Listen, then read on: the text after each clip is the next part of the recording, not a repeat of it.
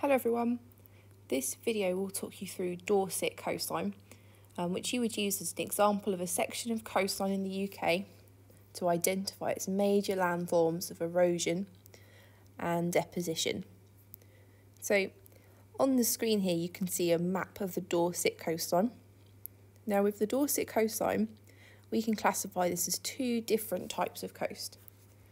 The first type we have is our concordant coast.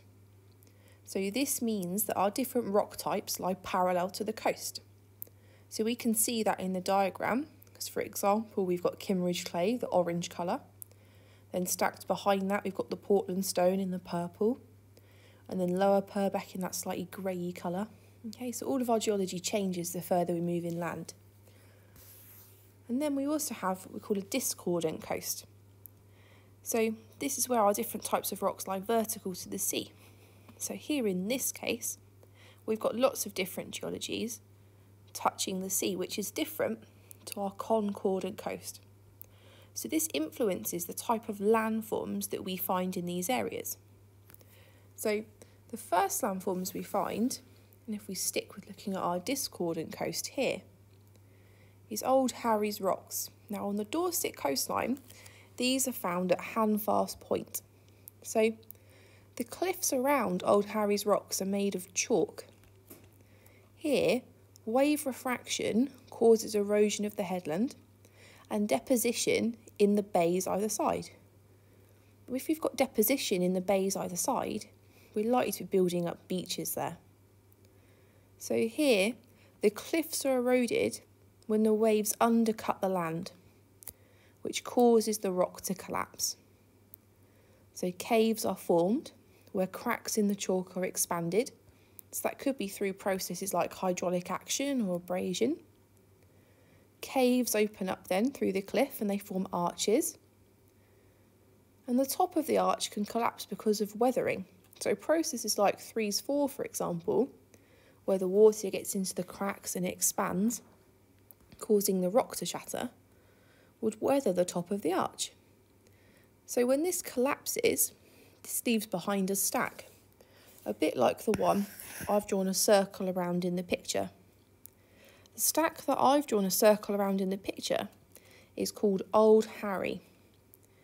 Now with Old Harry, eventually the top of the stack here will also be weathered and the bottom will also be attacked through erosion.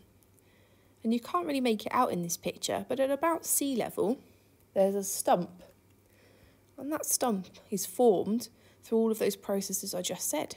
So the weathering of the top of the stack, the undercutting at the base, and the stack in this case is called Old Harry's Wife. So if that's caves, arches, stacks and stumps, otherwise known as Old Harry's Rocks at Handfast Point, we can then start to move further back down the coast and we can look at the other processes and other landforms that are occurring here. So Further along the coast then, we have Lulworth Cove. Now, with Lulworth Cove, it's important to remember that our coastline here is concordant. So, to recap, this means that the rock types lie parallel to the coast. So here, the sea has broken through the narrow strip of hard Portland limestone and has been able to erode the softer Wealden clays that are behind. Now they've been able to erode the clays because they're less resistant. They can put up less of a fight to the erosion. So this is what's formed that circular bay that we can see in the picture. Now, that's not to say that the erosion has stopped, because in fact it hasn't. It's now starting to erode the next band of rock behind. So it's now starting to erode that harder chalk. So if you look at the picture, that white coloured chalk at the background I've just drawn a circle around, that's now where the sea is attacking. So eventually that bay is going to continue to expand further inland. And then if we take all of the knowledge we've got so far, we can apply it to what's happening here at Durdle Door, which is just out of shot on this diagram here. So Durdle Door is found between Swanage and Weymouth. Here, the arch was formed when less resistant rock was eroded by processes, like hydraulic action and abrasion.